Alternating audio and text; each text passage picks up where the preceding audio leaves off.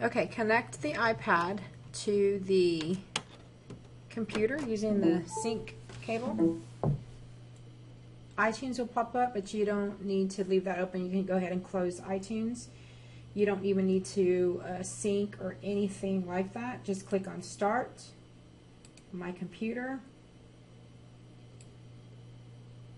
And if you scroll all the way down to the bottom, you should see the iPad here. Just go ahead and double click, double click again,